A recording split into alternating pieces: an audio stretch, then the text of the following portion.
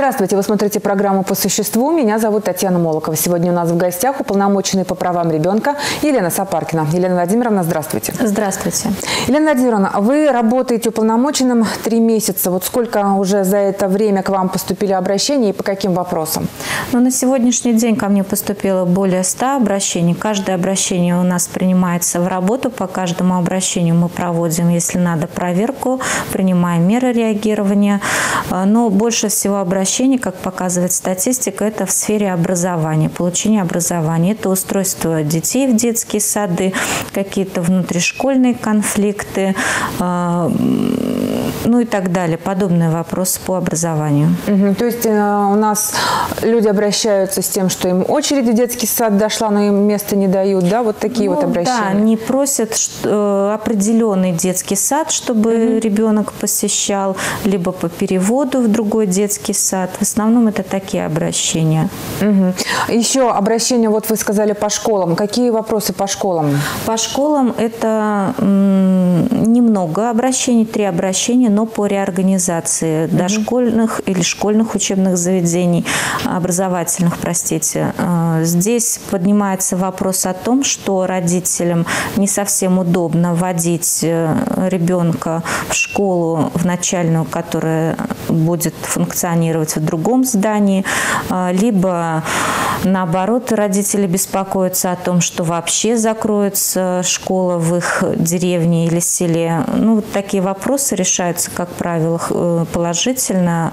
А, школа не, органи... не реорганизуется, просто с родителями не в полной мере была проведена э, предварительная работа, ну, разъяснительная mm-hmm. работа. Елена Владимировна, ну, наверное, одни из самых таких острых вопросов – это вот жилищный вопрос, да.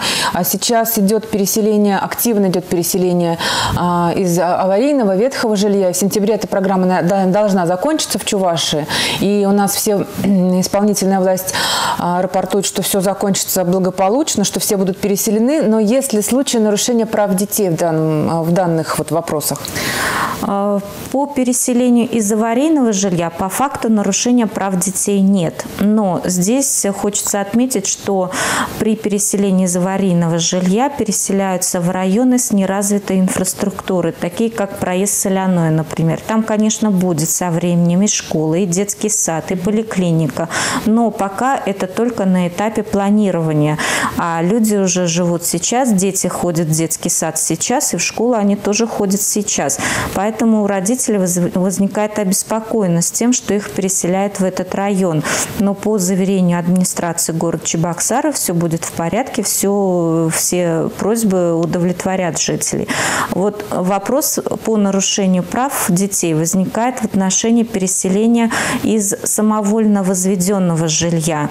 Здесь уже при переселении граждан не учитываются нормы площади жилья на одного человека. К сожалению, Э, действующим законодательством это не предусмотрено. Им предоставляют квартиры по договоренности с застройщиком.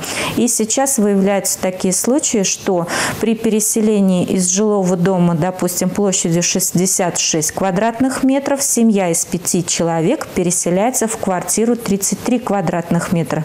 Естественно, жители этих построек недовольны. Они согласны проживать и дальше в своих домах, с, с своих нажитых местах, но, к сожалению, э, действующее законодательство не позволяет это делать. Как вот, ну, понятно, что пять человек не могут жить в 33 квадратных метрах, это квартира-студия, по большому счету, да, да. Там, а, там только жилплощадь и туалет с ванной более-менее, да, вот.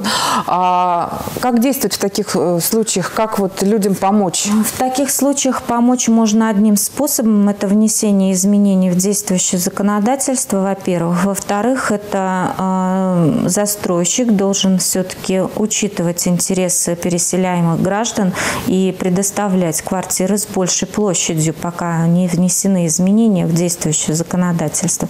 Поэтому это вопрос, э, конечно, сложный, но думаю, что разрешимый. А это где, в каком районе, в каком муниципалитете такой случай? Мясокомбинатский проезд. Шанхай. Да. Угу. да. Ну, там, наверное, очень много таких вот вопросов, потому что там действительно все самовольные Да, поступают коллективные обращения, некоторые уже по третьему, по пятому разу угу. обращаются, ходят по всем инстанциям, но пока вот, к сожалению, положительно не решается угу. вопрос. Елена Владимировна, один из таких, наверное, злободневных, очень актуальных вопросов. Вот недавно поступили сообщения о том, что дети летом падают из окон. Да, к сожалению, такое есть. И вот за минувшие выходные, когда потеплело, стали люди открывать окна, уже имеются три случая выпадения детей из окон. Один случай с восьмого этажа ребенок пяти лет упал, к сожалению, летальный исход. А, в два случая дети живы, слава богу, один со второго этажа, другой с четвертого этажа. А, за их жизнь борются медики, а, состояние у них них стабилизировалась. Но здесь хочется отметить печальный факт. То, что двое из этих троих детей, которые пострадали в эти выходные, находились без присмотра родителей. Поэтому большая просьба к родителям. Будьте очень внимательны, берегите своих детей. Никогда не оставляйте их без присмотра в комнате, если у вас открыты окна. Если у вас дети умеют самостоятельно открывать окна, поставьте, пожалуйста, какие какие-либо защитные устройства, чтобы они этого не смогли сделать. Потому что ребенок, он по своей природе любопытен. И он всегда будет э, лезть туда, где ему интересно. И даже если он не проявляет интереса к открытым окнам, когда э, зимой или осенью, если окно открыть, он обязательно поинтересуется, а что же там такое? Я хочу посмотреть. А москитная сетка, к сожалению, это только иллюзия защиты, и она его не спасет. Да, это печальная, конечно, статистика. К сожалению, опять мы начали считать количество детей, выпавших из окон. Елена Владимировна, вот такой вопрос. Вы на минувшей сессии на прошлой неделе выступали перед депутатами Государственного совета с докладом о проделанной работе. Вот что в этом докладе отмечено? А, может быть, какие-то вопросы вам задавали с депутатами? Но депутатами задавались вопросы общего характера, какова эффективность работы, как ее повысить, э, и частные вопросы, которые, я думаю, широкой публике не будут интересны.